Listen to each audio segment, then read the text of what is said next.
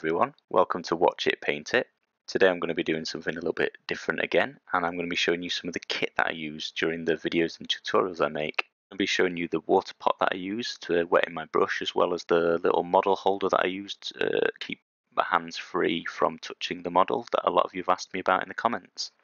So I use a non-spill water pot from Quickdraw Supplies which I bought when I first started painting. I've been in contact with them since I started making these tutorial videos and they've very kindly offered to support the channel and supply me some of these to do a giveaway during the video. So after I've done a quick review of the product and shown you a little bit more about it, I'll tell you how you can uh, win one of these pots for yourself. So let me show you the product. It's made of plastic so it's non-smashable it's 59 pence and it's available in four colours from Quickdraw Supplies. And as you can see, it comes into its own in the fact it's a non-spill version. Uh, it has a little stopper to stop the water coming out of the, the hole, as well as this lid which catches water if it spills. So the stopper and the lid are both removable, as you can see. And it has a little line on it, which is it's difficult to see in the video, but it's where my thumb is now. And if you fill it to there, that's about the amount of water it can handle without it pouring out of the hole, which is uh, in the middle of the pot. So if anything like me and you find this ever happening, or if you've got one of these, or even one of these, then the non-spill aspect of this pot will be quite quite handy for you. So hopefully as you can see I've put some water in this pot now with the lid and the stopper firmly in place. The water doesn't pour out.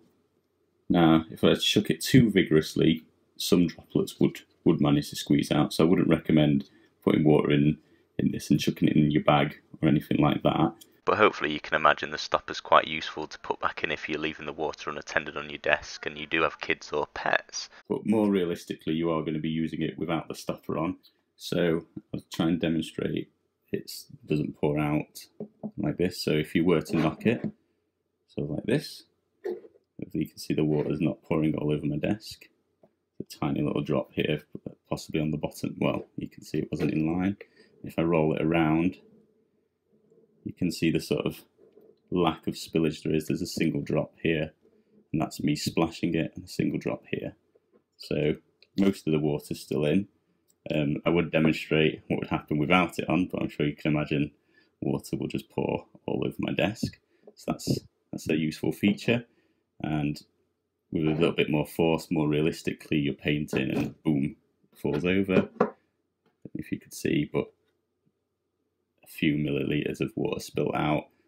Um, I've been rolling this around on my desk and splashing it, and you can see there's there's nothing. This wouldn't this won't do make do, do any damage to my desk. Whereas before I had a non-spill one, this would get knocked over. Quickly run and grab a towel and save my computer. So hopefully can see that. So that's pretty good. I'm happy with that. But it still leaves the best part of this product, and this, that's the stopper. Um, I'd buy this product just for this alone. I'd highly, highly recommend this. I recommend this, highly, highly recommend this one.